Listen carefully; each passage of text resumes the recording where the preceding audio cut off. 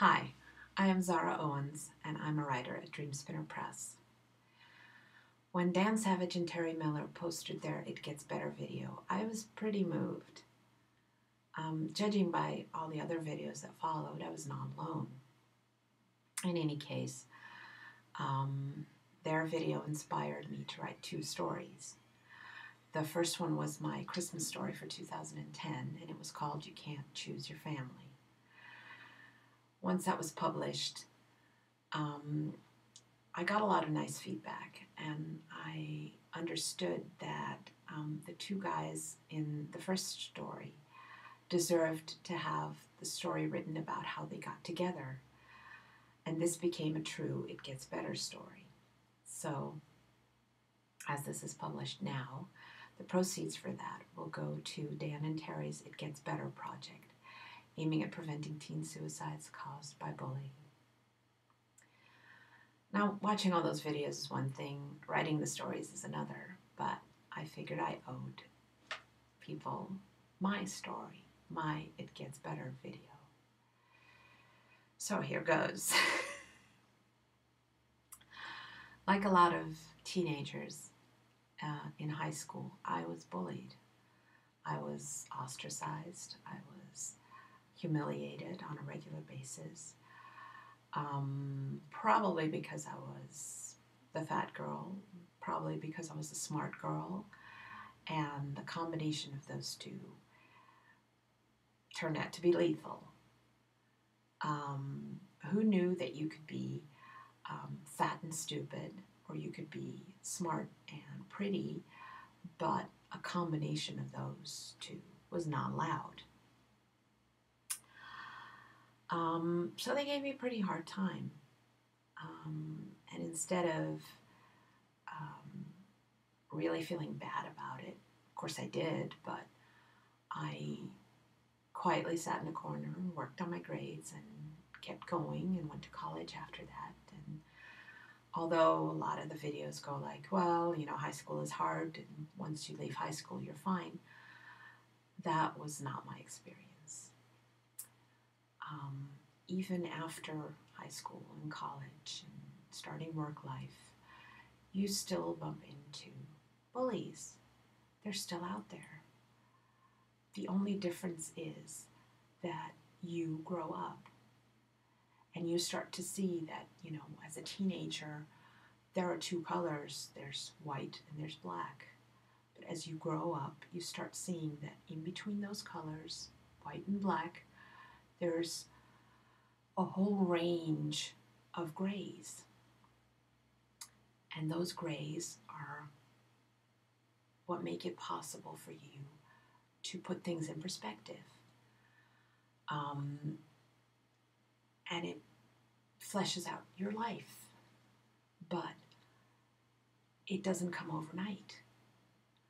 It takes time to discover the nuances of gray in between those two extreme colors of black and white.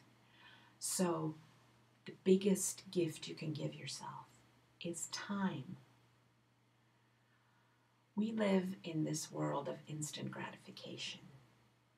Um, you want something, you get it. You go online, buy it, and it's instantly delivered. Well, life doesn't work that way, sadly. Life takes time you, t- you need time to grow into yourself. To understand that, yeah, there are bullies out there, but you get something else. You start finding your strength inside of you.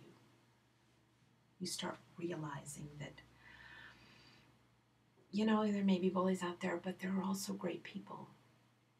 And you have to open yourself up to encounter those absolutely amazing people that make you feel good about yourself and that make you feel like you can handle the world.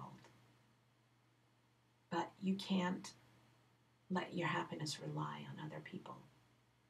Your unhappiness on the bullies and your happiness on the good people you meet. No, because you're the only one who can make yourself happy. And it's in here, it's inside your heart. But you have to find yourself. And it took me forever. When I was 30, I was still clueless. When I was 35, it was starting to dawn on me that I could do, you know, more with my life than what I was doing. Um, and I look around me and I see other people finding their inner strength. I see people go, Oh, I love it, you know, when I can come home at night and create this lovely meal for my family and see them enjoy it. You know, I know people who love weeding their garden. Um, I know people who are great teachers and um, who can inspire other people and who can uh, create passion in other people. Those three things are not really for me. but I found through the course of the years, and this has taken time, I found out that I like to write. And again, this takes time. Um, I've been writing for 10 years, if not more. Um, you really have to give yourself the time to find your talent. And with talent, I don't mean something that'll make you famous. Very few people become famous discovering their talent.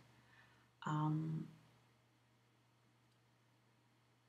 but I discovered that I like to write. And yeah, I'm published. Um, so people often ask me, you know, even if you weren't published, would you still write? And I barely have to think about it. I say, yeah, I'll still write because I don't write for my publisher and I don't write for my readers, even. Sorry, readers. I write for me. I write because the fact that I can create a, a story and create characters that are in my mind, put them in a book, and um, have them make sense, hopefully, that bit makes me feel good about myself. That bit makes me feel accomplished. Um, it gives me some self esteem. And it makes me want to get up in the morning and it makes me want to still crawl behind my computer after a whole day's work because I want to write, because I have these stories in my head and I want to put them on paper, and I can do this. This is my talent. So I'm glad that I didn't do anything desperate when I was 15 or 16 and really in the dumps.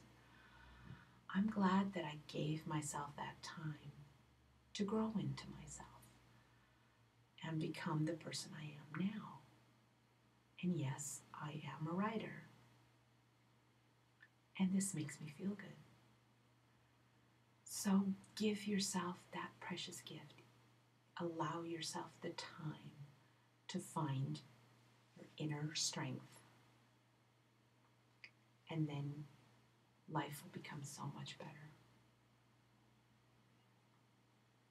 So if you, even after my story, still want to um, help this project, help Dan and Terry's It Gets Better project. Buy my story because all the proceeds for that will go to It Gets Better. Thank you.